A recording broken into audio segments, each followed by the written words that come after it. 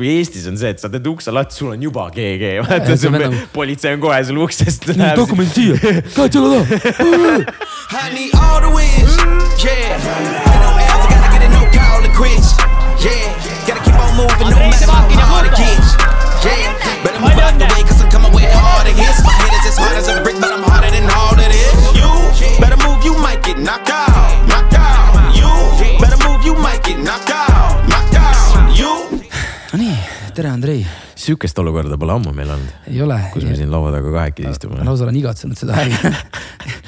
kohe, kui me tulime tagasi Eestisse, siis me hakkasime ju endale külalisi otsima. või noh, Jaa. see otsing käis juba enne mm. -hmm. aga tegime neljakesi, aga kahekesi me polegi, polegi saanud maha istuda. see oli juba ju ikka väga ammu ju.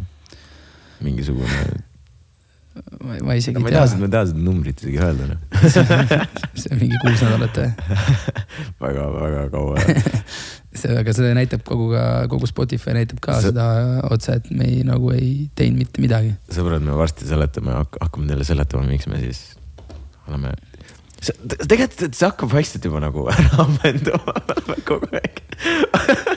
oleme mingisugune nädal aega, kaks nädalat maks viimasel ajal nagu aktiivsed onju.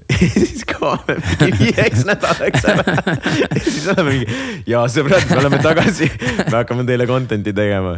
siis teeme jälle nädal aega content'i, jälle kuskil vennad on kadunud. no see kahjuks kipub ei ole midagi teha, me kohe varsti seletame, miks see nii oli mm, -hmm. Mhm. aga me oleme tagasi jah, väga äge. me oleme tagasi Türgis siis. jõuame nüüd sinna, ei jõua või? või sul veel midagi enne rääkida või? või lähme otse Türgi kallale või? Ma ei tea, mis ma ei tea, kas me hakkame midagi veel mähkima, ma arvan, et inimesed tahavad juba nagu sihukest rahulikku explanation'i kuulata, miks me siis oleme ära olnud. ma ei tea, aga me saame seda pakkuda neile praegu. muidugi. sõbrad, me oleme tagasi siis äh, kuu aja pikkuselt äh,, tahaks öelda puhkusreisilt, aga see ei olnud nagu, see ei olnud päris puhkus. me filmisime siis ära, me tahaksime öelda Eesti kõige, kõige vingema, kõige oodatuma kõige oodatuma tõsielu saate. ja tõesti, sõbrad, villa on tehtud, see on tehtud. see on tehtud ja nüüd on see siis, sa ütlesid, et me anname neile rahulikku selgitust, anname neile siis hästi rahulikku selgitust. nii, niimoodi, et me ei, ei, ei vurista ette kõike. see saade on hetkel siis monteerimises mm. -hmm. nii-öelda lõppmonteerimises ja täna nüüd, täna on siis, mis, teine august või? teine august, jah. teine august ja uuel nädalal siis hakkame Andreiga ka peale lugema siis vajalikke kohti, mis meil seal siis nõutakse Mm. ja siis septembri lõpp, oktoobri algus on see aeg, kus see asi tuleb välja. vaata, vaata sellega, sellega on nagu see, et ähm, nüüd, kui vaata video, videoid oleme üles pannud, onju, siis sa tead, vana aja küsimus, video käib, sult küsitakse, millal uus video. nüüd on. ei, ma lihtsalt, ma ei, ma ei, ma ei tea, mitu korda ma olen juba sellele küsimusele vastanud. kus mingid vennad küsivad, millal villa välja tuleb. see on haige, aga ma mõtlesin, et sa üllatad mind selle küsimusega, et millal uus reality kui vana pole veel väljaski. nüüd, nüüd see hakkab tulema sõbrad, villa tuleb välja siis septembri lõpus või oktoobri alguses. umbes niimoodi ta, tahaks vist ajastada sellega jah. ehk siis me oleme jah praegu montaaži faasis, mis on tegelikult üks nagu olulisemaid asju ja ma lihtsalt, ma nagu vaatan nagu, kuidas äh,, kuidas äh, siis need välismaa kõik need asjad mon- monteeritud on, onju. Oh see on ebareaalne, tegelikult vaata nagu noh, küll varsti räägime sellest ka onju, aga seal nagu materjali on nagu tohutult palju ja et Mhm. valida välja, mis päriselt lõpukatti läheb, see on, see on haige töö lihtsalt. see on Aga- no me näeme, me nägime, vaata, me käisime ka vahepeal vaatamas neid klippe, siis meil oli ka kohapeal veel kaks monteerijat, kes panid selle nii-öelda kõige mustema versiooni kokku sealt. ja no Andrei, no sa nägid seda ei, see oli haige. see ei ole fucking okei okay,, kui ilus kõik kõik, kui puhas kõik on. Ad break. tere sõbrad, te kuulate Eesti kõige enim kuulatud podcast'i, mis siin toimub, podcast. mitte kõige tihedamini, me ei tee just loose, aga täna on väga eriline päev. sõbrad, meil on uus koostööpartner ja selleks on Elisa, nagu te näete, Elisa elu on elamust väärt ja sõbrad, meil on teil väga-väga-väga suur giveaway plaanis koostöös Elisaga ja selleks on muidugi iPhone kolmteist loos. Ai kui magus on, ma tean, et sa tahaksid seda. ma tahaks, no tegelikult ma mõtlesin, et ma annaks oma vana alustuseks ära selle, nagu te näete siin tagant, klaas on katki, kraan on katki. teeme switch up'i. teeme ära, paneme siis minu oma karpi ja anname neile selle minu oma. aga ühesõnaga sõbrad, jah, tõesti, me teeme siis äh, koostöös Elisaga iPhone kolmteist äh, loosi, selle te leiate Instagramis. reeglid on väga lihtsad, follow ge meid, follow ge Elisat ja nii lihtne ongi. ja sõidame muidugi. ja muidugi hakkate nägema siis äh, veel igasuguseid asju, mis me siis koostöös Elisaga teeme, me hakkame Elisa Huubi soovitusi, filmisoovitusi tegema ja igasuguseid muid asju meil plaanis teha. siis me hakkame käima nendel üritustel, kus on siis mingid esilinastused, asjad mm, -hmm. saate näha meid figureerimas ka nende sotsiaalmeediakanalitel jah, väga lihtne, nii et minge siis palun at MSD podcast Instagrami, seal te leiate siis äh, selle loosi. tag'i sõbrad tag'i sõbrad ja iPhone kolmteist võib olla sinu noh. Tag'i mind, please ja see iPhone siin võib olla sinu, aga alustame võib-olla sellest, kuidas me. tegelikult see oli juba päris ammu juba onju, kõik see, mis toimus, mõtle, see oli juba poolteist, peaaegu poolteist kuud tagasi onju. põhimõtteliselt oligi vist. kui lõppes või? ei, kui algas. kui algas, jah. kui me hakkasime enne minema. ühesõnaga, kui me läksime Türki. jõuame siis kell kaks lennujaama öösel jah, no selles mõttes tuletame meelde öösel. öösel, terve lennujaam täis rahvast nagu no, no, no täiesti full'is. ei, see oli rets. ja siis sul on mingisugune kolm Antalya lendu onju ja siis sa ei tea, kumb on veel sinu oma või kumb ter see terminal on sinu oma, inimesed on igal pool juba laiali jaotanud ennast onju mm.. sa oled mingi äh,, okei okay,, ma lähen sinna onju. ja siis äh, järsku tuli nagu meie see, meil oli mingi teine lend vist või äh, sellest kolmest ja siis meid saadeti siis kuskile, ma ei tea, mingi, mingi see gate oli onju. nagu see check-in gate ja siis läksime sinna. oi, ma ei tea, lõpuks me tik-, põhimõtteliselt polnud vahet, kas oleks tulnud kell üks või sa oleksid tulnud kell pool neli no,. ega ei oleks, ei oleks. ei ole, reaalselt ei ole, ei olnud vahet noh. Ja siis oligi see, et äh, istusime seal selles äh, äh, check-in gate'is ja siis mingi ajasime häma seal ja ja siis tegelikult oli üks, üks, üks naljakas moment oli seal see, et me vaata, me olime vaata veits juba üle väsinud ka, sest me ei maganud onju ja siis me hakkasime seal mingit full häma ajama. mis nali see oli? esiteks seal oli see Pärtelpoe see teema oli noh, veel ei olnud, me vaatasime seda podcast'i veel nagu üle onju, et see ei olnud veel välja tulnud, eks me nagu rääkisime sellest seal, siis hakkas pärast seda läksime, seal tuli mingi full mingi häma ajamine onju siis... ma mäletan, ma tegin ühe rämeda hea nalja. sa olid on fire too. aga ma ei mäleta, mis juhtus, aga mis nali see oli? ma ei mäleta, ma ei mäleta, aga ühesõnaga seal oli see, et me lihtsalt, lihtsalt tegime nalja selle ja siis ma vaatan nagu kõrval nagu seal üks, üks nagu pere oli, siis nad lihtsalt nagu seisavad niimoodi onju siis nad korra kuul-, mingi Marko Tasase nalja tegi. mõtlesin, mingi, mingi jah, strippar Marko nalja tegi või midagi. ma vaatasin otsa, need vennad niimoodi naersid, see pere. ja ühesõnaga seal kõrval, kõrval oli üks nagu pere, siis äh, isa ja ema siin nagu. ja siis nad korra, noh, siuksed, nad ei olnud väga vanad, onju. et siis ühesõnaga, et lihtsalt seisavad, me räägime juttu, siis nad mingi vaatavad korra meid lihtsalt naerisite meid. vaatad üksteisele otsa niimoodi naeravad onju. ja siis liigume vaikselt, üliaeglaselt liikus see, meil oli ilmselgelt noh, see võtab praegu lennujaamas, ma ei tea, kuidas praegu tegelikult on, aga, aga noh, see juuni alguses oli ikka täiesti lappes, vaata. oli jah. ehk siis nagu sa liigud seal, sul, meil oli kaks check, check-in gate'i onju ja need liikusid üliaeglaselt onju. ja siis mingi hetk on niimoodi, me oleme põhimõtteliselt enda selle check-in gate'i juures nagu noh, seal ees onju. ja siis üks check-in'i gate'i töötaja on mingi, davai, I had enough Läheb lihtsalt jalutab minema, tegelikult ma ei tea, võib-olla ta läks kuskile nagu sinna päris, sinna päris gate'i vaata, ma ei tea, võib-olla. Helen Toksik oli ka ju, ta midagi ütles ka sulle vene keeles. ei, ei, ei, ei, too jalutas minema, siin on lennujaamal läheb la,, laon puid veits. ja siis tuleb mingi, mingi Pihvu istus kõrval seal, see, see, see üks läks ära, onju. ja siis mingi töötaja istus kõrval seal, vaata. ja siis ta oli mingi lambist hakkab mölisema, onju, mingi, et mis te seisate siin? Vene, vene aktsendiga, mis te seisate siin? ma mingi, bro, me olime siin fucking poolteist tundi ist-, olime järjekorras just ja üks töötaja otsustas ära minna. ei no mind ei huvita, minge sinna, mingi. sa teed mul fucking nalja praegu, sa istud niisama kõrval ja lihtsalt mölised meiega. tule istu fucking ise siia tooli taha, kuradi lase meid check-in'ist läbi no. ja, ja, ja mölis, mölis vastu siis mingi mingi isegi, ma ei mäleta, ta ütles ka, ütles ka mingi ülitoksikult mingi mm, ta ütles mingi vene keeles, ütles mind ei huvita. aa ah, jaa, põhimõtteliselt ütles jah, põhimõtteliselt ütles, mine pohhu, nagu et, et ma ütlesin talle selle peale, et me olime just praegu kak-, poolteist või kaks tundi olime selles check-in, nii pohhu noh. praegu läks, praegu oli siuke olukord, nagu ma ei saaks aru, mis tähendab vene keeles, et mul on ükskõik nagu nii lasen ei no minu arust ta ütles, ta, ta pööras. ära, ta oli, ta oli mingi nii pohhu. aga vist oli jah? ja siis ma olin mingi, aitäh. Excuse me? excuse me.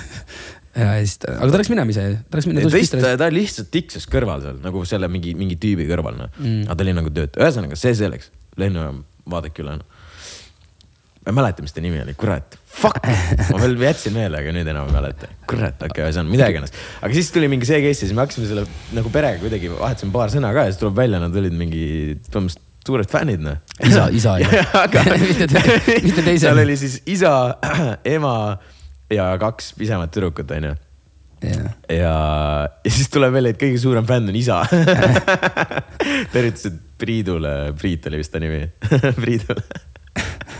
siis ta oli mingi, ja, ja, ja tüüp oli kur-, just eile, eelmine päev oli see kroonika asi, tüüp oli väga kursis, soovis õnne, ma mingi oo aitäh, aitäh, siis mingi rääkisime juttu veel ja ülitore perekond ka ja, ja tervitused ja neile. tervitused teile. Et sihuke äge kokkusattumine, siis muidugi see oli check-in'is seal kuradi või see security selles oli see, et äh, ülipalju rahvast, nägime Noa Sharki ka no Sharki nägime jah. täiesti lambist vene, mingi joo, Andrei, mingi. midagi, joo, tšau, onju. seal on nagu inimesed nii räigelt tunglevad seal, nagu seal oli nii palju inimesi, et mingi kaks meest oleks kaklema läinud seal kätega yeah. üksteise kallal juba no, karjuvad ja see. ongi see, juhtubki see, kui sa nagu panedki, noh, sihuke pingeline olukord ja inimestel on vaata kiire ka juba, siis sa juba hakkad nägema, vaata, mis, mis nagu toimuma hakkab, see nagu, see nagu ma praegu teen, ma olen viimased võib-olla kaks nädalat vaatan zombifilme. ma nägin täna öösel unes, ma olin mingi täiesti ei no ma ei, see oli nii haige õudukas. ma olin Brad Pitt, mängisin Brad Pitti mingis filmis ja ma olin kuskil vanglas mingi äh,. Äh, mingit räigelt palju kummitusi ja mingeid koletisi oli, kes räigelt ründasid kogu aeg. see vanglavoodi oli nagu, nagu mingi nii palju vee sees. ja siis nii kui käe panid voodist alla, nii oli vee, käsi vee sees ja mingi, selles, kus see kõlab sellena, vaata. aga kunagi pandi noorena kuskil laagrites pandi kellelegi käsi vee sisse, vaata yeah.. kusest pükse. aga siis oligi see, et no, no, ma lihtsalt nagu nii räigelt õudne oli aeg, et keegi nagu kägistas kogu aeg ja ma ei teadnud, ma olin mingi, mida, mis siin wow. nii, nii, nii higistasin ära. no ühesõnaga, ma vaatan nagu, ma viimasel ajal praegu väga palju zombikeid vaatan ja mul, ma lihtsalt, ma ei saa midagi teha, mulle meeldivad, ma lihtsalt armastan zombifilme ja zombiseriaale, ma lihtsalt, ma ei mul on kõik filmid põhimõtteliselt vaadatud juba ja, ja praegu olen kõik seriaalid nagu ette võtnud. ja siis seal on nagu see üks asi, et, et kui peaks nagu kunagi zombi apokalüps tulema, onju, siis nagu see, et nagu don't trust no one ja siis sellest, siis näed, kuidas mingi fucking mingi haigetes olukordades inimesed nagu ära kassivad ja tuleb nagu see loom välja, vaata seal. Ja see on see täpselt sama olukord, mis seal lennujaamas oli, et mingid vennad lihtsalt, mingi vend natukene kattis laini ja siis tüüp oli juba mingi, põhimõtteliselt oli seal rusikatega juba kallale tulemas no.. no nagu mingi kassi, kassivad ära selliste asjade peale, siis meil on nagu, no me oleme seal, no ja nagu järjekord, me nagunii kiiremini ei saa, eks nagu noh, eks ikka ajab närvi. kedagi maha ei jäeta, saad aru, see- kui sul lennuk on pooltühi ja sul on inimesed järjekorras, siis lennukid ootavad. ja nagunii vaata see, seal on ju seal lennu, lennujaamal ja vaata G4S või on, on seal see security on ju, et siis äh, noh, niigi on seal töötajate puudus vaata ja mingi jama ja lihtsalt sul on mingid inimesed on nii närvis ja siis seal need security läheb närvi ja mingi räuskavad kell kak-, kell kolm öösel sinu mm. nagu üksteise peale onju. ja siis on nagu full up ja siis, siis ma, ah siis ma mäletan, jõudsime veel selle security lindi juurde vaata. ah, see oli haige lugu. ma olin, ma olin juba lennuk läbi nii, me oleme pääsenud. na- niigi vaata läks kiireks onju selle lennuki peale minemisega onju ja siis äh,, siis paneme asjad nagu selle lindi peale. lint läheb katki või see masin läheb katki, mis nagu noh, täiesti neid asju edasi viib, no mingi fucking hell bro. kõik nagu kõik oli päris. kõik, kõik nagu see, mis pidi nagu lappesse minema, see nagu läks no.. aga õnneks, õnneks lõpuks jõudsime, ainuke, meie, meie lennuk oli ainuke, kes põhimõtteliselt tund aega nagu hoid nagu selles mõttes ei, ta ei lennanud ära, lihtsalt ootaski kõik need mähkreid ära, kes pidid nagu lennukile minema, onju. ehk siis, aga teised, teised kaks no, lennukit. ma arvan, et ikka ootasid. ei, ei neli kolm, meil oli neli kakskümmend viis, teine, kolmas lennuk oli neli kolmkümmend, see oli juba ammu padavaine. arvad, et jäeti inimesed maha või? muidugi, sada protsenti. aga ma ei tea, risk, okei okay.. väga veider. no ühesõnaga siis lõpuks jõudsime Türki ja vana hea Türgi noh, olime Antalyas paar päeva mm. ja Mhm. siis äh, meie nii-öelda siis äh, villa ise toimus sellises linnas nagu Kalkan. sõbrad, saate kõik seda puukida ka. Vaadake vaadake kas Airbnb-st või no booking.com'ist kusjuures mul on ikka tüübid saatnud neid linke, nad on juba üles leidnud neid, neid, need, need villad noh. vaadake Villa Beverly Hills sa ütled lihtsalt, okei okay,, davai, vaadake. ja vaadake ja võtke endale see, minge puhake. siis andke teada, kuidas teile meeldis. sest meile meeldis see väga noh. ei, ta oli väga kaunis noh. ja siis ühesõnaga meil oligi, läksime sinna. me tiksusime alguses niisama ja siis jõudis kogu, kogu crew, meil käi-, tuli Kaubik oli Eestist, siis tule nagu mingi, mingi neli päeva sõitis. Ats, Ats Ats ja Andre- neli päeva neli päeva sõitsid Kaubikuga, kus oli nagu kõik tehnikaasjad, kõik mingid, mingid varustused ja asjad onju. see kaubik oli nagu triiki, nagu triiki, triiki ja asju täis. päris, päris nagu väärtuslik kaubik, et kui, et kui midagi, kui midagi oleks juhtunud selle kaubikuga, oleks nagu GG olnud. Sats oleks maha löödud siis koos Hendriga. Tarviks on räigelt higistanud, ta mingid asjad, oh ma ei suuda magada, kogu aeg vaatab, kus poisid on ja kes ootab, ootab kõne onju. ühesõnaga need, need tulid siis äh, Eestist kaubikuga sõitsid onju. ja siis tuli crew ja siis hakkasime mingi aeg äh, sättima seal. ja, ja, ja meil oli põhimõtteliselt niimoodi, et meil oli need osaliste villa. siis oli meie villa. Ja siis oli crew villa ka veel Mm. siis nagu kolm villat, kus siis põhimõtteliselt inimesed nagu olid. ja kõik olid nagu suht lähedalt, ehk siis nagu seal oli nagu suht lebo, lebo noh, üles, üles kõndida mis iganes, kuigi lõpp, algus oli pull, pärast oli see. ühesõnaga, seal oli need meie villa onju. ja meie villa ja osaliste villa vahel oli võib-olla äkki kolm villat. aga see, et sinna saada, oli see, et sa pidid nagu mingist siuksest mäest nagu üles minema see oli väga-väga järsk noh, see oli päriselt sõbrad No. järsk, see ei olnud isegi nali noh. nagu ja siis me paar korda kõndisime sinna onju ja siis, kui me jõuame üles, väljas on mingi kolmkümmend viis kraadi. jõuame sinna üles ja me oleme full nagu läbimärjad põhimõtteliselt, higised läbimärjad, no rõve on lihtsalt. ja siis me olime mingi, tule saatejuhid ei tule enam. davai, kui, kui saatejuhtidele praegu enam autoga delivery't äh, ei pakuta, siis me enam saadit ei või. ja saad aru, see oli täpselt see variant, et kui oleks öelnud, et ei saa, siis ma oleks olnud, no okei okay.. ja, ja kui siis, aga lähed sinna, ütled mingit, me ei tule enam, vaata. no okei okay,, me siis saadame auto. siis tegelikult me oleks nagu igatipidi nõus, et ja, nagu see- midagi ja teha. seal oli nagu, vaata, meil oli need äh, rendikad äh, Fiatid onju. Ja saad aru, need, need, need masinad, isegi need masinad ei sõitnud nagu mäest üles, see oli lihtsalt nii sitad autod ja nagu me, kui põhimõtteliselt mingi viiekesi autos olid, noh, see oli sihuke, et davai, lähme ringiga. no nibin-nabin läheb mäest üles, aga need teed ei olnud ju mitte asfalteeritud, vaid need olid täiesti nagu kruusateed. ja siis, kui me need autod siis kuu aega hiljem tagastasime, Jaa. siis me saime arve autorendifirmalt. neli rehvi oli vaja autodel välja vahetada, sellepärast et mitte need rehvid ei olnud nagu lihtsalt kulunud, vaid rehvidelt olid nagu nii, nii paksud äh, nagu kummitükid väljas, umbes nii laiad ja igast rehvist mingi kolm-neli sellist. et nagu nii palju tõmmati seal ikkagi kummid vilisema, et see lihtsalt läks katki ja siis oligi, vahepeal panime autoga, vahepeal kõndisime, aga see oli ikka päris rets noh. aga seal oli, me tegime, kui meil puhkepäevad olid näiteks, siis me käisime ATV-dega sõitmas, jetidega sõitmas. Kuule, nüüd inimesed hakkavad mõtlema, et, et. Et me puhkasime ei no see ei olnud ikka puhkusreis, kuule, me käisime ATV-dega, sõitsime jettidega ja siis tegime Seda- laevaga veel. paadiga käisime sõitmas mitu korda. Aga need olid puhkepäevadel, sõbrad, tööpäevadel oli ikka tööaeg. ühesõnaga meie, meie see graafik nägi siis tegelikult ju välja selline, suht iga päev, välja arvatud siis pühapäev, mis oli puhkepäev. hommikul ärkame üles, kaheksa kolmkümmend üheksa enamasti, sest et fucking lambist olid teetööd. ja yeah. mõtle nagu okei okay,, vaata, me läksime sinna nagu mitte puhkama, läksime tööd tegema, et mingil määral nagu savi onju. aga nagu samal päeval, kui me jõudsime sinna, siis lambist sealsamas, kus nagu osaliste villa oli onju, seal kõrval alustati nagu mingi kaevandustöödega ja nad läksid kaevandustöödega nagu alla onju mäest alla kaevama alla, ja kaevates. ja siis oligi põhimõtteliselt lihtsalt mingisugune solid kaks pool nädalat järjest, võib-olla isegi rohkem, kus oli nagu kaevandustööd ja sa lihtsalt, nad alustavad fucking kaheksa kolmkümmend. ja sa, ja see on nii vali, et sa lihtsalt, sa ärkad selle peale, sul ei ole mitte midagi teha. no see oligi selle peale, aga mis oli nice, no lõpuks ärkadki kaheksa kolmkümmend ülesse. Teed kohvi. ja meil oli Jah. catering on ju, siis catering tõi kella üheksaks toidu. me sõime seal natuke ja siis enamasti mingisugune üksteist või kaksteist olime me platsil. ja umbes nii jah. jah, ja olime platsil, mis iganes seal meil olid, kas mängud või mingisugused muud asjad, onju. juhtisime ära, ilmselt mingi sihuke kaks tundi läks seal, siis tuleme tagasi. siis on jälle lõunapaus mm.. Ja siis õhtust on siis äh,, lähme uuesti tagasi ja siis on veel mingisugused äh, lisa, lisafilmimised ja mingid asjad, mis meil seal nagu no. olid selle projektiga seotud, onju. ja nagu selles mõttes, et äh, iga õhtu oli ikkagi vaata nagu Jah. ja. vaja uuesti minna kohale, et olla uuesti mingi kaks või poolteist ja, ja sa lähedki, sa oledki seal ähm,. Mingi lõpp, põhimõtteliselt päev lõppeski mingi kahe, seitse-kaheksa, kaheksa isegi ütleks. Mhm. ja vahepeal isegi palju nagu kauem oli, oli läinud seal.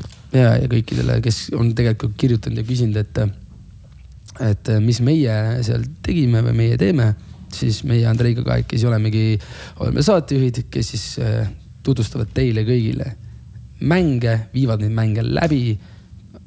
kui on vaja veel mingi kaamera ees veel mingit lisateksti rääkida, mis iganes, siis seda teeme kõik meie.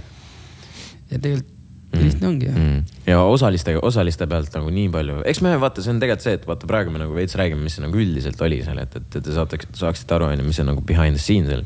sest eks me oleme siin nagu podcast'is sellest villast rääkinud ka, aga see ei ole nagu, nüüd on nagu see, et me oleme, me olime actually seal, nüüd me teame. Me teame, nagu, teame ka see asi nagu, mis tehtud. juhtus, vaata onju Jaa.. muidu on see, et me veits arutasime, onju, mäletan vist oli mingi sihuke, et kuule, peaks telefonid ära võtma, nüüd me teame, et need me võtsime osaliste telefonid ära, onju siis nemad olid seal kolm nädalat nagu noh, selles ühes villas nad ei käinud välja, noh, selles mõttes nad, neil ei olnud õigust nagu välja minna sellest villas onju, villast. ja, ja siis ongi vaata, et ma ütlen teile ausalt, et kui sa paned inimesed nagu ühte maja, even though see nagu see maja on päris suur onju siis ja sa võtad neil telefonid ära, oi kus hakkab asju juhtuma. sa, inimesed, kas te saate aru, et inimesed hakkavad omavahel ka rääkima? Vau, rääkimine eksisteerib nad hakkavad nagu mingi sellistest äh,. Nagu esineb emotsionaalseks, jah, sügava sügavamatest asjadest arutama, rääkima. kas sa kujutad ette? olid ajad, raisk., mäletad kunagi omal ajal, sai ka räägitud. mõtle, sa avastad nagu inimest või õpid inimest tundma päriselt, mitte ei ole see, et sa vaatad mingi Instagramis mingi pildi ja tule, see on see ja see on see, vaata, et tal on sihuke caption ja see caption, vaata. üks on kringling kui teine. sa mingi nope, tegelikult ülinormaalne vend on. Ehk siis nagu päriselt nagu see, et kui sa nagu kaks asja lihtsalt võtsid telefonid ära. ja, ja nad olid seal ühes kohas ja oi plää, oi plää. me andsime neile ah,, Tarmo tegi sellise lahenduse, ma ei teadnudki, et niisugust lahendust saab teha, et sul on telefon ja sa saad telefonist kasutada ainult ühte äppi. Mm. Tarmo pani neile Spotify ette ja muusikat saate kuulata. lapselukk oli põhimõtteliselt. põhimõtteliselt oli lapse lõpp peal. nagu sa saad telefonist ainult ühte äppi kasutada, swipe'id üles, sul on Spotify ees, sa ei saa mitte kuidagi teha, mitte yeah. midagi. ja siis no, nende, nende ainuke roll oli see, et nad nagu isegi telekat mitte Mm. nagu ainult vahepeal peal mingi jalgpalliseeri õhtuti võisid vaadata Mm. ja mingi filmika võisid ka teha. noh, seda filmi, ega filmi, filme sa nagu väga vaadata ei saanud. Nad vaatasid türgi keeles. sest türklastel on see komme, et nad ju filmivad või tähendab, nad ju loevad peale sellele yeah. tekstile onju. Eks nad ei ole lihtsalt supakad, vaata, aga nad loevadki peale sellele tekstile. eks nad lihtsalt vaatasid sealt türgikeelset filmi võib-olla. ja no ühesõnaga sõbrad, telefonid olid läinud ja hakkas juhtuma Mm. ja kohe hakkas juhtuma. Päriselt, Te see- varsti näete seda kõike see oli, see oli, see oli ikka päris rets ja no vaata, aga tegelikult on see, et nagu neil endal villas seal veel oli, me tõime neile ju full, noh ikka väga hea nagu džimmi komplekti onju. Eestist kaasa ka. Eestist kaasa onju, eks neil oli nagu full on nagu, sa said kõike teha, sa said nagu, seal oli see äh, suur kang onju, sul oli. bench'ida said. said, said bench ida, sul oli väga nagu normaalsed raskused ka onju sul olid hantlid seal, sul olid äh, hüppenöörid äh,, me teeme neile poksikotid sinna, kindad äh,. no kõik, mis põhimõtteliselt nagu trenni jaoks nagu vajalik oli, see oli nagu olemas. meil oli kettaid äkki, ma pakuks mingi sada viiskümmend kuni sada seitsekümmend kilo äkki umbes jah. no ikka, kettaid. no ikka see on nagu piisav, nagu. kuule, kes see, kes see, kes see, kes see kükiga sulub, sada viiskümmend ja sada seitsekümmend kilo. et, et, et nagu see oli täiesti nagu, eks nad said trenni teha vähemalt seal onju, et nad Jah. liigutasid, pluss neil oli suur fucking bassein ka noh. see oli ikka meeletu noh. ja nende muidugi, millest nagu me oleme ka varem rääkinud, et söögid, joogid, kõik, kõik, kõik asjad. igapäevaselt neid varustati kõigega, mis nad soovisid, seal oli hästi palju erisoove, hästi oli ka inimesi, kes noh, näiteks olid ainult võib-olla ainult sõid vega, vege, vegetoitu onju mm. -hmm. olid inimesi, kes võib-olla ei talunud gluteeni ja võib-olla mingit laktoosi ja mingeid selliseid asju. et kõikide nende asjade eest pidi veel eraldi nagu hoolitsema ja siis ja sai, ja tehtud. et oligi nii, ma ei tea, et ongi oh,, meil on Red Bulli vaja, meil on seda vaja, meil on Jaa. seda vaja, me mingi okei okay,, davai. et sa, aga vaat see ongi see, et vaata, et noh, nad võib-olla vaata seal mingi hetk juba hakkasid nagu mugavalt tundma ennast, onju, nagu mingite asjade nõudes, onju. aga äh, see on nagu kõige väiksem asi, mida sa saad teha nagu saate tegijana siis, et sa viid neile mingisuguse mm. fucking kast Red Bulli, kui nad seda tahavad, onju et sa viid neile selle, see on kõige väiksem asi, mis nagu neid õnnelikuks teeb, onju. et ja kui nad, kui sa viidki selle, siis nad on mingi davai, mul on, mul on kõik nüüd rahuldatud, mul on safe, ma võin nüüd jälle ta on back on track selles mõttes mm.. et kui me seda, seda ei provide'i onju, siis mingi hetk nad võivad nagu ära kassida. muidugi, aga see on ju, vaata, see ongi hästi, nagu sa ütlesid, kõige väiksem asi, vaata, mida sa saad. Muidugi, muidugi, kui keegi absoluutselt ma ei tea, mis asja, mida ei olegi reaalselt võimalik saada võib-olla onju Mm. et, et äh, nagu poest ausalt hetkel onju, siis Jaa. yeah. nagu sellega sa ei ole midagi teha, proovidki ära selgitada, aga see on ju noh, lihtne asi, sa saad seda kohe provide ida. ehk siis meil oli, meil olid seal veel külalised, külalised olid väga, väga ägedad. Nagu sa mõtled, sa mõtled saates ja just, et nagu, kui nad käisid seal noh, nagu tegevused on ju siis, mis külalised tegid neile ka, vaata need Jaa. olid, need olid väga ägedad. Neid oli päris mitu tükki. see on kas iga kord on erinev? see on sihuke semi ad break, sest et see on ad break meile, sõbrad mm.. me siin räägime teile villast, aga meil on ka teile toredad uudised, meie väike selline veebilehekene, milleks siis saab olema, või no kuidas, oma platvorm, kus me siis kõike näitama hakkame. selleks saab olema villatv.ee ja mis seal siis toimuma hakkab? Andrei, hetkel see leht on valmimisel, aga te saate sinna lehele minna, oma emaili kirja panna ja siis jooksvalt äh, saadetakse teile uudiseid, kui midagi on saabumas. just, see on nagu vana hea, paned oma meili kirja ja siis hakkad neid äh, selliseid meeldetuletud, tuletusi. meeldetuletusi saama. aga jätke endale meelde www.villatv.ee oota, mis see oli? www.villatv.ee ahah, okei, davai. ja vaata Andrei Villa logo, see on meie väike villa logo, logokene, see on väike spoiler teile. kuidas teile tundub? see on päris aus logo. no ma ei tea. ja reaalselt äh, see toob väga fucking kõva, nii et kuulake edasi, mis me teile räägime sellest villast. www.villatv.ee on see koht, kus kõik hakkab toimuma. näeme varsti sellel lehel. no ma ei tea, mina ei saa nagu endiselt, ma tahan ja tegelikult kui ma selle praegu siin välja ütlen, siis ma tahan, et eh, kui me kunagi nüüd siis, kui see nüüd välja tuleb onju ja peale seda esimest episoodi näiteks tuleb meil uus podcast'i episood võib-olla mõne külal-, osalejaga onju. siis ma ei saa üle, üle ega ümber sellest, et need mängud, mis seal toimusid mm., fucking hell, Mm. need on nagu, need, need on teil päriselt nagu põnev, põnev vaadata ka.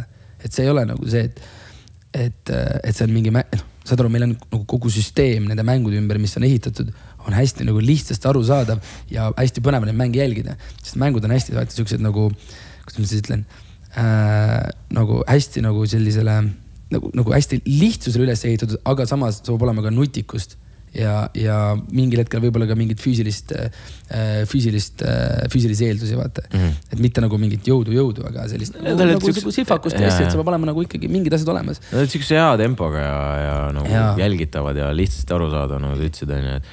Et need, need olid ka väga, väga suur osa nagu sellest, kogu sellest äh, projektist ja mis nagu inimesi mm. nagu edasi viis ka, onju. see ongi tegelikult vaata mingil määral natuke praegu ra raske rääkida ja ma tahaks tegelikult ju teile kõike rääkida, onju, aga mingil mm. määral nagu ra raske nagu rääkida sellest, et, et, et, et et me ei taha nagu mingeid asju spoil ida ka, onju. ma olen näiteks siuke vend, kes nagu vihkab spoilereid. no ja vaata, kui spoil imine on nagu üks asi, aga. aga see ongi, me peame üli, üli ettevaatlikult nagu valima ja mida me saame rääkida, no mida me ei ei saa. hakka rääkima, vaata, mitte Ei, muidugi. sihuke mäng oli. Jaa, jaa, muidugi, aga muidugi. nagu selles mõttes, et noh, miks mänge tehakse, mänge tehakse selle jaoks, et on võitjad ja kaotajad onju mm.. ja eks siis sealt igaüks saab ise edasi ju, edasi võtta mõelda, et mis, mis edasi võib juhtuda või edasi võib hakata saama. Äh, osaliste villast veel äh, nii palju, et rääkides nagu osalistest, kes olid mm.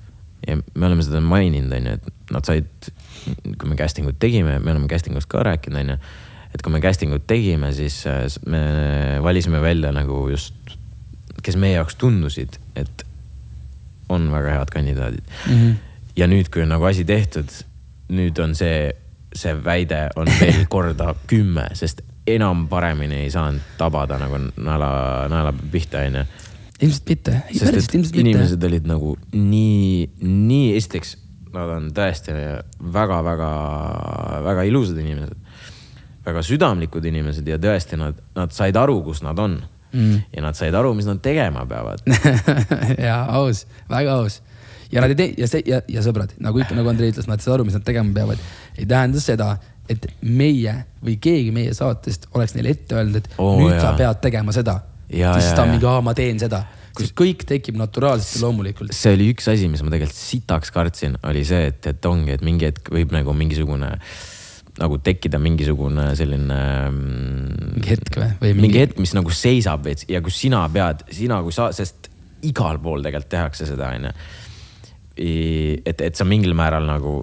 annad mingi sisendi. saate, saate tegijana sa nagu ise mõjutad seda skripti kuidagi. ja sa, ja sa suu- ja vahepeal vaata on see, et to, seal meil olid toimetajad ja toimetaja töö ongi nagu suunata, et joo näiteks see, no ei tea, seal keegi nuttis seal, mine räägi temaga onju. aga vaata just see, et nagu meie kuidagi nagu muudame selle full on saate nagu skripti, seda absoluutselt ei olnud ja selle, selle üle ma nagu räigelt imestasin, sest ma tead, tean, et tegelikult väga palju seda tehakse, onju. ja lõpuks ongi see, ja selle, sellepärast ma ütlengi, nad teadsid, mis nad tegema peavad, et, et nad ei, nad ütlesid ka meile seda, et et mehed, et me nagu, nagu respektime teid nii väga ja me tahame, et teil oleks ka hea asi, mis on väga haige tegelikult. väga haige. et, et, et teil oleks ka hea asi, et nagu meil oleks, on ju, oleks hea, on ju, aga et ka teil oleks midagi, mingit content'i noh, et mm. oleks olemas mm. ja et, et vaatajad ka saaksid nautida. eks nad said väga hästi aru, onju, ja me kordagi ei olnud see, et meie, meie pärast või meie tiimi pärast nagu mingi asi oleks nagu yeah. muutunud. kõik, mis te seal hakkate varsti nägema, onju, kõik oli lihtsalt nagu full on nende, nende yeah. teema yeah.. ja see, see. mis on nii rets tegelikult noh et kõik, kõik draamad, kõik probleemid, kõik mingisugused äh, armastuse asjad, mis seal olid, onju mm kõik on nende enda teha enda tehtud tähendab. ja, ja ja lihtsalt äh, tuli üks äh, ilus äh, pilt silme ette.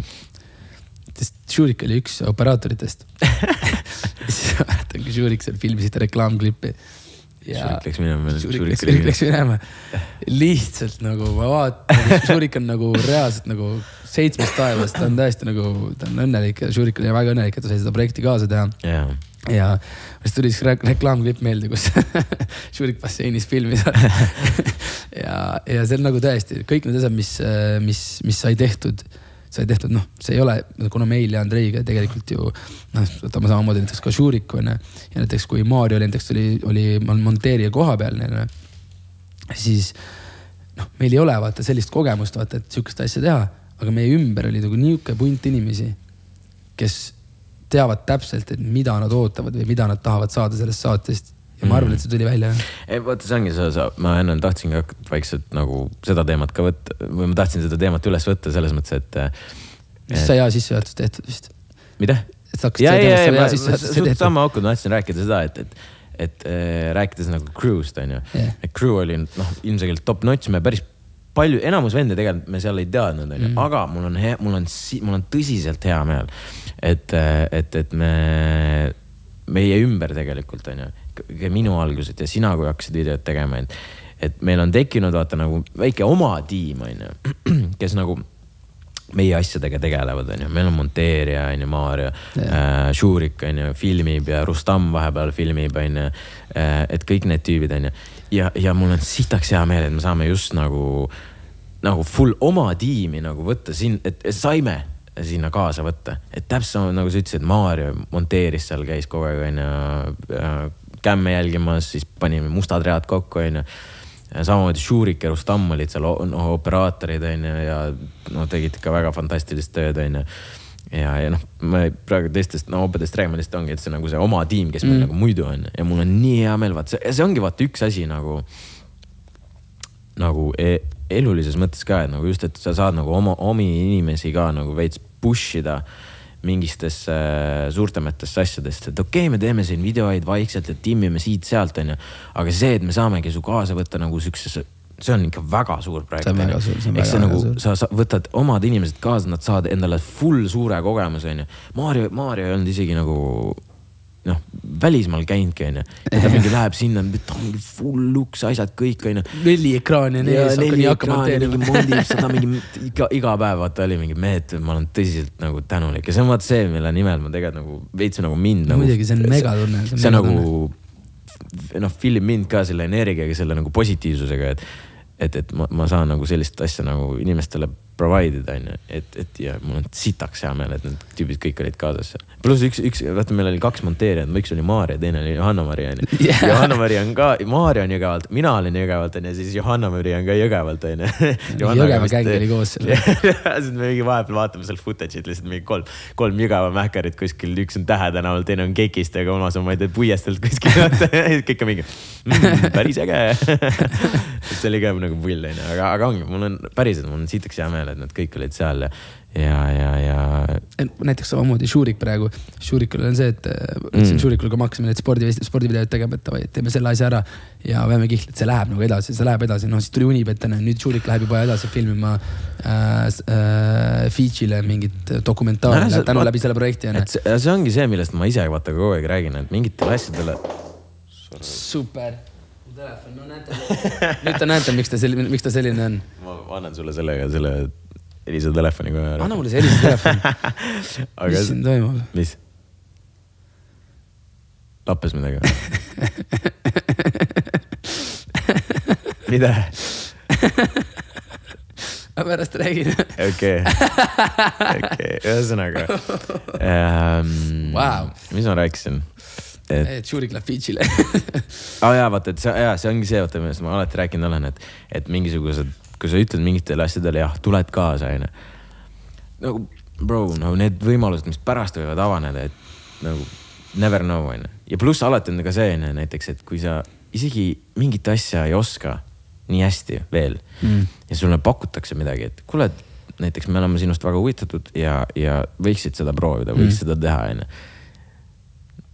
ütle jah nagu pärast figure shit out nagu. ja see on aus, alati. no mingil määral peab aus olema, vaata, et sa ei taha, et, et sa, muidu tekib see vastutus ka, aga nagu enamjaolt sa saad, sa saad mingi ikka selle asjaga hakkama. nõus, ma olen täiesti nõus. nagu it's not, it's not that hard on ju, et see nagu sa, sa lihtsalt nagu õpid selle käigus, mul on vist reaalselt alati olnud nagu siiamaani oma elus, et ma ütlen alati, alati põhimõtteliselt davai jah. ja siis mõtlen viie meetri pärast, kuidas ma selle ära teen. ja samamoodi näiteks, mul nagu nii lihtne näide tuli äh, täna hommikul selle enda Airbnb-ga onju sa lihtsalt mõtled, et, et davai, et nii, et sul on klient äh, üks, üks klient tahab check out ida, peab, peab, peab check out ima kell kaksteist Mm. aga ta küsib, kas ta saab pikendust tund aega näiteks. Aga teine klient tahab tulla sisse kell üheksa, et kas ta küsib, kas ta saab early check-in'i, yes, yes. ja siis, siis, siis, siis, seal on veits lappes. siis, siis hakkad, hakkad mõtlema, et okei okay,, davai nii, papid on käes, davai.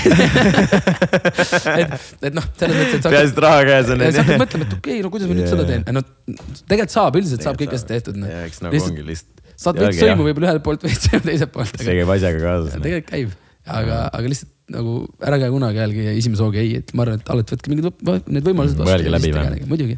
osaliste villa pealt veel, ma ei tea, nii palju, et seal noh, nagu ma ütlesin, seal olid nagu ikka väga ausad inimesed, kui, kui isegi neil mingid probleemid seal vahepeal olid nagu isegi nagu me olime, noh, üritasime seal kuidagi nagu aidata, ma mäletan väga Jah. palju see, et tuldi ikka nagu, kuule, et see, see, see juhtus, ma mingi, et chill, kõik on hästi. ma räägin toimetaja, küll toimetaja ja, räägib. ja tegelikult ja see oligi see, üks asi ka, et enne, enne kui me üldse kogu filmimist alustasime ja selle või ei, mitte kogu filmimist, nad natuke olid seal tutvunud üksteisega onju ja siis pärast, kui juba oli mingid teemad onju, seal nad pidid seal mingeid asju tegema onju.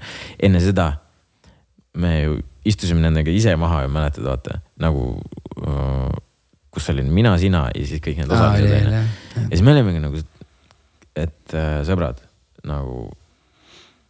Te olete kõik siin, palju õnne, te olete väga tublid ja meil on te teistes nagu väga palju usku, onju. aga lihtsalt, et m- nüüd oleme meie nagu üks suur family, onju. Mm. ehk siis nagu meie hoiame teid ja loodetavasti teie hoiate meid, onju. ja, ja et kui mingid, mingid jamad, mingid asjad on, et te võite vabalt nagu pöörduda, onju, kõik see, et. et minu point oli see, et siis, et, et et nad noh, usaldaksid meid piisavalt, et nagu noh, ennast seal villas nagu hästi tunda, onju. Mm. et ei taha, et oleks see, et nad mingi, et kõik on siin nagu üli eraldatud on ju, et nad tunneksidki, nad oleksid kodus, vaata. ja mis lõpuks ma arvan, nagu saigi nagu saavutatud. kindlasti, muidugi, muidugi, see on nagu, ma nagu ise nägid ka sihukest asja nagu kõrvalt ja, ja nagu kui sa nende inimestega suhtlesid, tegelikult nad nagu kõik usaldavad vaata Mm. mm. ja, ja see, see tulebki ajaga, see on nagu noh, päris nii ei käi onju Mm. aga, aga ma ise tunnen küll, et, et nad võivad mind usaldada ja, ja ma tean, et ma võin nagu neid usaldada. mm,. et see oligi, et, et, et nad jah, nad usaldaksid meid ja et nad ei peaks nagu midagi kartma otseselt, sest et noh, tegelikult on see, et kui läheb asjal hästi, onju, siis meil kõigil läheb hästi. Ja kui läheb täpselt samamoodi läheb sitasti ja nemad midagi, midagi korda saadavad, onju, siis meil on, meil on ka, meil neil on perses ja meil on ka perses onju, ehk siis nagu siin nagu see käib nagu kokku. noh, me oleme kõik koos nagu selles mõttes. nagu me oleme täpselt nagu Yeah. me, samas paadis noh. täpselt samas paadis jah Jah. kui läheb põhja, siis lähme kõik koos. kui jääb pinnale, jõuab sadamasse, siis siis just- on kõik hästi ja läheme kõik koos noh. ehk siis äh, jah, ma ei tea, ma ei tea, mis me veel osaliste, osaliste villa pealt saame rääkida noh. ma tean neid lugusid, mis meil, mis meie villas juhtusid noh. mis seal juhtus siis? kurat, seal oli, seal oli omaette villa. sõbrad äh,, Alkani linn on ju seal, kus me olime. seal on väga palju stray dog'e ehk siis kodutuid koeri ja, ja juba jaanuaris tegelikult, kui me käisime, siis me olime ka, oi stray dog, nii nunnu, onju. tule teeme pai tule sulle., tule, tule onju ja siis äh, seal on ikka väga palju neid ja, ja siis mingi hetk täiesti lambist tekkis meil oma stray dog. nagu, kes lihtsalt lambist tuli kuidagi, aa, see oli niimoodi, et me läksime. ta oli nii kuradi nunnu. see oli see moment, kui me vaata veel jalutasime sinna üles osaliste villasse onju. siis me läksime siis keset teed nagu Mähkar oli lihtsalt nagu tuli meiega kaasa mingi. me läksime osaliste villasse seal mingi blä-blä-blä onju, tegime seal omi asju. siis ta jäi sinna välja ootama nagu ja siis mingi hetk tüüp oli seal osaliste villas nagu lihtsalt chill'is onju, mingi vapsi onju. nii, siis ta läks ära ja me läksime ära. ja siis mingi hetk see tüüp on meie villas kuidagi jälitas või ma ei tea, mis, kuidas ta nagu sinna sai, lihtsalt vaata, meil oli uks lahti ja siis jalutas nagu, siis tuli nagu meie villasse. no ta, ta on nüüd tõesti nunnu koer no ei ole midagi teha, ma olen nagu, ma olen, ma olen väga nagu koera inimene, mul on, mul noh, mul kassib lihtsalt täiesti ära nagu, ma näen koera, vaata sa tead väga hästi noh. Kui tal on siuke kuradi kõva venelane käib, noh siis on mingi nunnu, otso nunnu. nagu siuke see tõrva vaata ja ma olen temaga täpselt see on päris, päris, päris, päris, see on päris, päris õudne tegelikult, kuidas ta, kuidas ta muutub, kui ta koera näeb. ja, ja ühesõnaga siis ma olingi, oo stray dog, nii nunnu, värk-särki, anname süüa talle kõik seda onju. vanal oli viis käiku iga päev. See ja. viiekäiguline, viiekäiguline söök oli tal iga päev ees. vahepeal sa nagu catering'ist nagu mingid asjad jäid söömata ka või isegi üldse keegi ei söönud, me olime siis nagu näe, palun jälle sulle premium meal, vaata. Mähker sõi seal alguses täiega kartis, vaata pärast oli juba julgem onju. oli küll jah. oli küll liiga jah, julgeks läks. ja täpselt ongi see, et tüüp läks nagu väga julgeks äh,. siis üks päev ärkan, vaatan hmm,, tahaks nagu plätus jalga panna, aga üks plätu on ainult millegipärast. ja mitte kuskil pole teist plätut, lihtsalt, no lihtsalt ei ole. Mm. siis tuleb äh,, siis tuleb üks sõbranna ja ütleb, et kuule, mul polegi enam plätusid. ma mingi siis ma naersin ka okay. Robin on mingi, mis asja, koer viis ära, stray dog viis ära, vaata. Ma ei usu ikka, raudselt viis ära, mingi naerab meie üle, onju. ja siis vaatab, et endal samamoodi kaks paari ko- Nike'i kosse kodus. kas te saate aru, kaks paari tutikad Air Force'id ja tutikad need Flyknitid, jah, nii. mul oli mingi üks plätu ja siis meie sõbrantsil oli siis veel äh, noh, paar plätusid kadunud onju Mm. mm.. siis me mingi, ah mis asja, nagu kõik hakkasid kohe stray dog'i süüdistama ja siis meie sinuga, ma mäletan, me kahekesi võitlesime Stray Dogi eest, et nagu. Stray Dog jääb majja. Come on, Stray Dog on siin, ta oli siinsamas, et vaata kui nunnu ta on, vaata ta ei teeks elu sees seda onju. ta ei teeks elu sees seda, come on, kõik on, no okei okay,, aga nagu suht kindlalt Stray Dog viis ära onju. järgmine päev, mingi kolm, ma ei mäleta, kas Siimul või kellelgi. mul läks kaks paari veel, aga sul, aga sul läks ja sul läks veel üks paar mul läks kokku neli paari kosse. ja siis äh, veel kellelgi viidi ära vaata ja siis oli juba see, et okei okay,, Stray noh, see on vist, sa oled ikka vist sina raisk. aga Stray jäi niimoodi pasti, meie crew'st üks inimene tegi Stray, sama Stray jalutas ei, lihtsalt. see on, see on meie Stray. see, see oli mingi suvaline Stray, aga meie, sinu koss oli suus ju. sinu plätu oli suus ju, tegi pildi, too Andrei sinu plätu. reaalselt see oli päev pärast seda, kui vaata, ma kirjutasin ka, et türa, et mu üks plätu on kadunud, kuidas see fucking võimalik on ju. ja saad aru, see üks produtsentidest saatis pildi koerast, kuidas tal on minu plätu hamba vahel Jah. ja tüüp paneb kalkani vahel, vahel seal ringi vaata noh. Jah. ja see nagu saad aru, see nagu, kuidas, kuidas see isegi võimalik on, onju. ja ühesõnaga pärast, minu arust pärast meie Stray Dogi isegi nagu full hands-on vahele ka no.. Tal oli mingi asi oli suus ja siis see oli kõik oli mingi davai Stray. Get the fuck out of here nagu. mul oli üks Stray, mul on kahju, ma kaitsesin sind, aga sa tegid seda, seda viga ta kaks tegigi, korda ta. eksis reeglite jumala vastu. pekkis, mul on nii kahju noh. ja siis me läksime ühe sõbrannaga otsima neid jalasid, mõtlesime, et davai, otsime siis üles äh, selle, need jalasid, mis mul kadunud on Mm.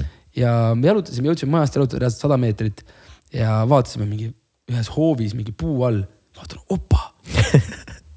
selle sõbranna üks plätu, minu üks valge Air Force ja siis oligi äkki, äkki oligi, äkki oligi see Flynet ka yeah,, üks jalats mõlemast Te olite papujahil või? ja, ja ma ei leidnud ja ülejäänud kõik on kadunud ja mul oli kaks jalatsit ja pidin Türgis uh, tutikid jalatsid Jaa. prügikasti võtma. siis helistasin, meil on äh, Polsi boss Kaspar Rätsep, helistasin, kirjutasin talle, oh Kassu, kuule ähm,. vaata need kossid, mis sa mulle poolsest andsid, onju, Neid pole enam. neid nelja paari enam pole. tuli mingi asja, ma ütlesin, Stray Dog viis minema, ta oli mingi, see- mida sa ajad, see- see vaata, on oli mingi türa, ma sõin viis see minema on. täpselt see, see olukord, kus sa ütled, et kuule mees, kus su kossid on, kuule Stray Dog viis fucking Tür- Türgi kuskilt suvalinna peal viis nagu laiali, et seal mingi. nagu mees, mida sa käpid, mida sa valetad, aga ja, ja ta ta ei uskunud alguses sa pärast ta uskus.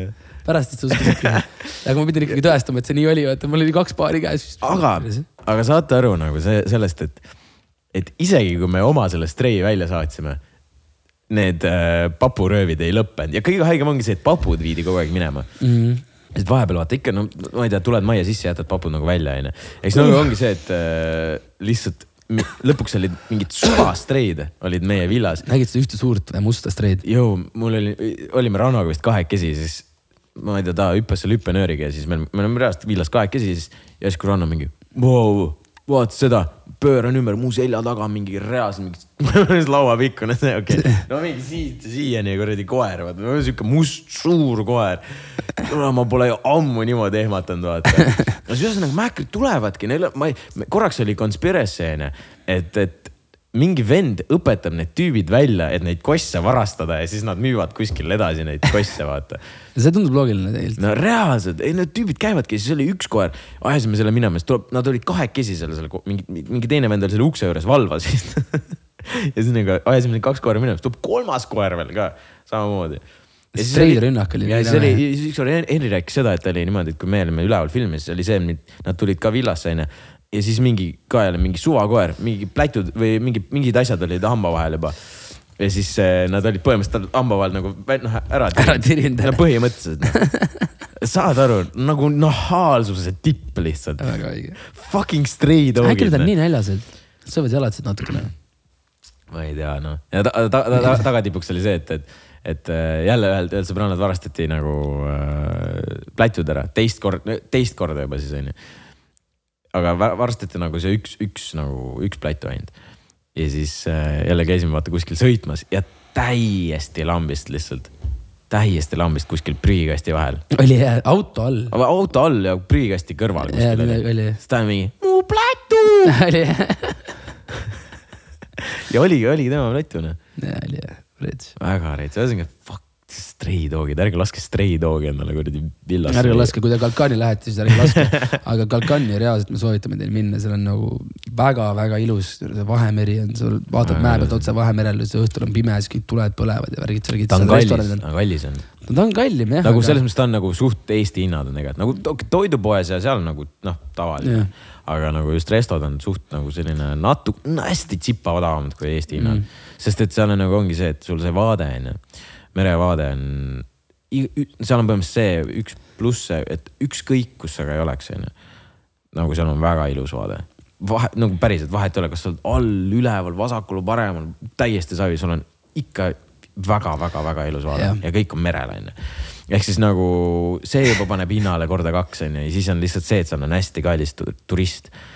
Seal on, britid on enamus asju valutanud ja seal on isegi vahepeal mõnd- mõnd- mõndades kohtades on nagu mingi pound, pounds ides saab nagu maksta ja pounds ides on nagu need äh, põhihinnad ka onju Mhm. ehk siis briti turist, briti turistil on kõigest jumala pohhu onju, tal on coin'i sitaks ikka.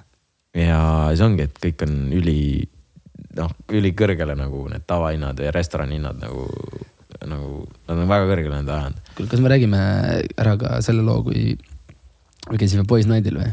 ja, ja, ja kuidas, ja kuidas, kuidas me koju läksime pärast? oh, no ma alustan, no alusta. aga ma lähen tagasi, meil on siis, jätame siis meelde, et meil on Boys Night ja Boys Night'ile eelnev äh, õhtu, äkki kaks õhtut tagasi siis, eelnev õhtu. eelnev õhtu. ühesõnaga meie villas oli sihuke suurem pidu. seal kõik meie sõbrad tulid Eestist kõik kohale, kõik, kõik, ühesõnaga pidustasime seal, hüppasime basseini, basseini pidu oli, kõik oli väga tore. ja siis kolm korda tuli politsei õhtu jooksul. esimene kord vist keegi Andreevist saatis ta minema, lihtsalt rääkis, et jaa, me paneme vaiksemaks, kõik on hästi, siis tuli teist korda, siis keegi teine saatis ta minema. ja ma kolmandat korda nüüd ei olnud enam nõus ära minema.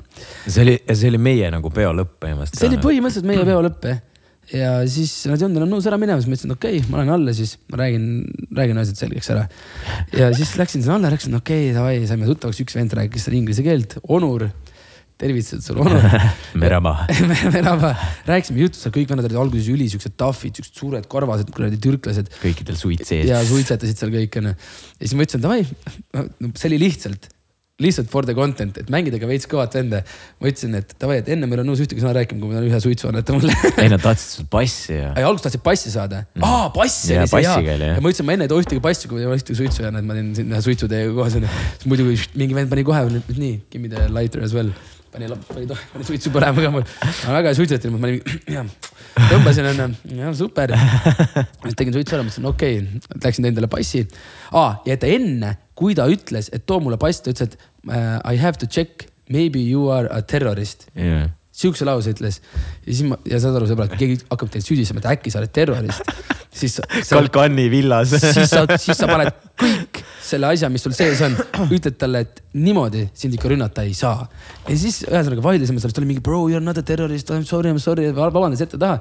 tõin selle passi, vend lisas mind What- Whatsappis äh, sõbraks ja kirjutas mulle, bro, you are a great guy bla,, blablabla, et ei, see oli lihtsalt see, et ju sa olid mingi, tema pakkus välja, et kuule, et, et noh, et enam tulla. et kaua, kaua me veel siin oleme, sa ütlesid, no mingi, mingi Aa, jaa, mingi nii. kaks nädalat veel ta ütles, et okei okay,, give me, give me your Whatsapp uh,, I write you if uh, anything uh,, if I hear no, complaints again et ütleski põhimõtteliselt välja, et ma ei viitsi siis uuesti tulla nagu jah, ma kirjutan nagu sulle ise. saad aru, nagu, nagu need teed on nii lappes, et isegi politsei ei viitsi seal nagu ringi sõita, kui tuleb mingi asi, noh. et see on nagu nii raske on seal sõita, noh.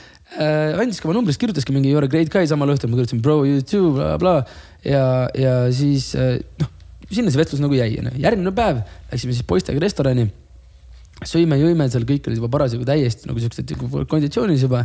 ja ei, siis, aga sa, sa skip isid see, see eel, eelnevalt oli see tüdrukute õhtu, vaata. ei seda ma ei viitsi skip, ma ei viitsi tüdrukust teha. nii närvi siiamaani, ma ei viitsi. tüdrukud läksid, vaata, meil oli seal hästi palju sõpru ja kõikide nende, nende öö, naiskad olid ka kohal, onju. Ja siis kõik tüdrukud otsustasid, davai, nüüd me teeme girls night'i ja rämedalt seal mingi nagu mingi. Need olid sõprade naised, meil ei olnud endal ühtegi. eputasid seal mingi onju ja, ja mingi girls night, girls night. ja siis mingi, ja siis ma ise õhtul nad tulevad ära, siis ma mingi kuulge, aga miks me ei ole boys night'i teinud, vaata yeah.. siis ma mingi davai, lähme boys night'ile, kõikidel kirjutad välja eraldi ka. naisi kaasa ei võta. mõned on sellised, kes tulevad ka joos, vaata kohe naistega kohale onju. naisi kaasa ei võta. Ja siis ühesõnaga läksimegi jah, panime jooki seal, jõime ja sõime ja steigid olid väga maitsvad ja mõnusad. väga ilusad. ja siis, kus, kuna, kuna me, me oleme tegelikult, me olime juba eelnevalt siis äh, paadi peal käinud, onju. nojah, meil siis olid juba kontaktid olemas kõik. jah, ja siis me üt- ütlesime seal ülempeaprodutsendile, et ülempeaprodutsent, et sina tead täpselt, et kas on äh, meie võimaluste piires minna paadiga merele praegu kell üks öösel või mitte. ja kell oli üks kell oli üks reaalselt. öösel ja siis üle, ülempeaprodutsent ütles, et absoluutselt, see on meil eelarves sees helistasime kaptenile, kapten juba vaata veits kodus põhimõtteliselt magab teki all, oli natuke juba vist paar õlli ka teinud. no ta oli ikka päris pehme. helistame, we want on boat. okei Right, how now, much today., right now? no yeah, tomorrow, yes, tomorrow, let's do tomorrow. me mingi no, yes, no, we want now onju. How much? ja siis äh, ütles mingi hinna ja läksimegi jah, ja sõitsime neli tundi paadiga merel, mingi viieni hommikul umbes. jah, olime paadiga ringi mööda merd, see Ujusime. suur, suur, suur paat. Jaa, ei ujunud, ei ujunud. ei ujunud või? me ainult päästevestidega ujusime üldse. päästevestidega ujusime, see olid kalad, kalad, mingi, mingi suur, mingi, mis seal oli? Äh, see kalmaar, oli või? kalmaar. ja siis kapten võtab harpuuni välja lihtsalt. vend tõmbas reaalselt harpuuni välja ja hakkas tu- tulistama seda seal. ja siis äh, noh, lõpetasime kõik asjad ära seal. Kõik mehed täiesti no täitsa siuksed nagu ikkagi noh. rivist väljas juba. ja siis ma olin, üks ja see, see, et miks sa seda tegid, ma arvan, on võib-olla sihuke subconscious värk, kuna me se- äh, olime seal paadi peal onju ja siis sul on kogu, kogu linnale nagu avaneb see vaade onju, ehk siis nagu vastupidi onju, et sa näed kogu yeah, linna onju yeah, jah. ja siis sa nägid, et ainult terve Kalkani linna peal sõidab üks politseiauto lihtsalt, vilkurid peal ja oli ja. ja siis Robin on mingi full plätt on mingi, et kuule, kirjutaks neile, et tuleks järgi meile või? ma ütlesin, ma ei ole nõus täna siit laeva pealt lahkuma, kui politsei eskord ei vii meid koju. ja kõik võivad öelda, ei ole võimalik mis. asi see takso on Mul polnud sularaha. politsei eskord ja ma, ja mul oli ju Whatsappis number olemas, ma helistasin Onurile, ütlesin Onul, Onurile, et jõu äh,, et ma ütlesin talle, et ma veits valetasin ka talle, et me teeme Netflixi saadet, et meil on vaja eskorti bla,, blablabla. kõik mingi sihuke jutt ja siis ta on mingi, no et ma ei saa, täna ei saa, mul pole seda autot ka, kus vilkurid on, praegu ma ütlesin Onur, aga siis sebi see auto. et äh, teeme niimoodi, meil on vaja, me tuleme kohe viieteist minuti pärast oleme paadilt maas, siis palun ole meil auto vastas, ta on mingi, ma ei tea, ma ei ma ei tea, no ma, ma vaatan, mis teha saab tulin sealt, tulin sealt paadi pealt maha, vaatan. Onur, vilkurid peal, ootab kahe autoga ees. hüppasime autosse, sõitsime koju. rahulikult viis meid seal, aga jälgis reegleid ka ikka, sõits väga rahulikult, Muidugi. ilusasti, rääkis meiega juttu onju, me ise nagu thank you very much. Onur ise kõrval istub nagu vana boss. vana naudib täiega vana famous seal meiega, andsime talle käppa, kõik vennad, vennid, politseid vaatavad wow,, mis vend see Onur nüüd on. ja ja siis me tulime, jõudsime koju ja siis meie villa, kes meie villas olid, vaatasid mingit, mis oh,, jälle mendid, vaata. ja siis järsku vaatame. mina, Robin, Kaisu tuleme välja sealt mingi, siis mingi thanks guys. see oli väga haige lugu. You are MVP-s, vaata. ja me saimegi politsei eskordiga koju, me ei pea mitte millegi pärast muretsema, sest Onur oli lihtsalt nii hea vend, ütles, et davai, ma ei viitsi, ma ei, ma ei viitsi sinuga rohkem jamada, ma viin teid koju Yeah. ma mõtlen, kas see, kas see Eestis oleks toiminud või? ei, nojah, muidugi. muidugi. kuule, joo, kuradi Andrus, kuule, ma kirjutan sulle Whatsappis ja tule mulle kuradi mendibussiga järgi. no väga ei toimi. väga ei toimi ja üks asi veel kohe politseiga tuleb see meelde. meil oli nagu see lõpp, onju, grande finaale ja siis äh, lõpus äh, oli meid seal väga palju, tõesti, täiesti, täiesti lambist oli väga-väga palju inimesi, onju. ja siis me tegime nagu kõne, onju, tänasime inimesi seal äh, no me olime Andreiga kahekesi kõige viimased, kes rääkisid. ja siis me läksime sinna ise ka nagu meie poolt, et kuna noh. me, me tunneme ka, et, et, et äh, see on nagu meie väike beebi on ju, siis me ütlesime ka paar tänu, tänusõna on ju. hakkasime rääkima, põhimõtteliselt hakkame suud lahti tegema juba on ju. siis järsku vaatame kõrvalt oli nagu see välisuks oli lahti on ju. ja siis ma vaatan mingi kolm pol politsei mingit tüüpi lehvitavad mulle mingi niimoodi. see oli just siis, kui mina hakkasin kõnet pidama. ja, ja, ja me, hakkame, me isegi, me ei jõudnud nagu põhimõtteliselt suud lahti, me lihtsalt alles nagu tõusime püsti, vaat kõik plaksutasid ilmselt selle peale ka vaata. ja siis äh, vanad näitavad mulle niimoodi, et tule siia, vaata, ma mingi. Wait, two minutes two minutes wait, ta mingi no, no, no come here, come here. no I'll, I'll, I'll, you know, I'll talk right now, two minutes. ja siis nad on mingi no, no, no come, ja siis läheb Šurik lihtsalt mingi, läheb sinna ukse juurde, ütleb two minutes, paneb ukse pauguga kinni nina ees neile. me teeme oma kõne rahulikult ära. me täname kõik vennad omalt poolt ka ära, onju. Ja siis, kui kõik on lõpetatud, alles siis läheme politseiga rääkima. see on nagu, see see on ainult Türgis, noh. kas sa kujutad ette, esiteks, kui Eestis on see, et sa teed ukse lahti, sul on juba GG, vaata, nagu- politsei on kohe sul uksest. dokumendid siia, käed selja taha. seal ei ole mingit agressiivsust, kõik on see, et ah, nii, ootaks korraks dokumenti, Ei, kui sa no- ei taha anda, ära anna, aga ja saad aru nagu politsei, pange palun vaiksemaks. uks oli lahti ka, vaata, ma räägin Eesti poeks, aga juba kohe sisse. Ei, kohe tuleb sisse. kõik, kõik oleks laiali ajanud, onju. Seal on, on uks lahti, nad ikka lehvitavad sul sealt niimoodi, ütlevad sulle tule siia, vaata. see oli käia, ja siis sa niimoodi, et keegi tuleb mingi sinu korterisse sisse. oota nüüd palun natukene, vaata Mm. ja siis uks kinni, rääkisime oma jutud ära ja siis läksime alles, siis mingi nendega jutustama ja siis ta oli oh, what's happening here, too much noise, mingi "Aa, chill, chill, chill. ja, ja sa saad aru, ja tegelikult oligi ja chill. läksid minema, on kõik noh. lõpuks oligi chill. muusika ei olnud ja ainult, ainult Türgi või no tänapäeval ainult selliste riikide politseid noh, sest nagu siin OG-d võib-olla teavad teisest episoodist, siis me, meie Dominikaani seiklustes ka. ehk siis äh, ainult mingi sellistes riikides on see nagu võimalik. ja ei, ma, ma ütlen, mul Türgi politseiga ka Türgi Vot politsei, oh mu bro. ei, ei, nagu reaalselt ongi, nagu nad on nagu, nad on nagu homid noh. ja nad ei ole nagu, nad on üleüldiselt ka nagu, kui sa linnapildis neid näed, no sa näed, nad on alati olemas Mhm. ja nad on nagu, nendel on ju alati ju need äh, M4-d ja MP4-d ja, ja shotgun'id on õlgade peal ka. tunned ennast safe'ilt, nad ei ole ülbed, nad on ülirahulikud, nad küll tõesti ei oska väga palju inglise keelt. Jandarma, Jandarma. Jandarma. ühesõnaga siuksed lood olid meil politseiga, mis meil veel seal oli? noh, seal juhtus palju asju, aga ma arvan, et äh, täna võib-olla isegi võiks lõpetada nüüdseks ja siis kogume mõtteid, siis meil on tegelikult päris palju teemasid, millest veel rääkida mm -hmm. kahekesi. ja siis meil tuleb võib-olla külaline varsti või? meil on päris mitu tüüpi juba plaanis jah, kes meil tulemas siis on, eks? on, ei saa öelda vist, saab. tegelikult võiks noh, tegelikult ärme ütle veel. ärme ütle veel, ühesõnaga. meil tulevad mehed ja naised, kes äh, on äh, Eesti rahvale väga-väga kallid ja armastatud jah, ja kindlasti on väga põnev nendega rääkida.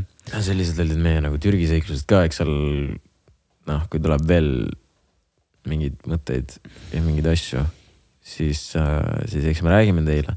pluss muidugi tegelikult me eile arutasime siin ju seda ka, et äh, nüüd varsti hakkab kõik promoajad ja asjad pihta, onju. ja meil on juba paigas tegelikult mingisugused kohad ja mingid väga põnevad asjad nagu, kus me nagu reklaamiks seda.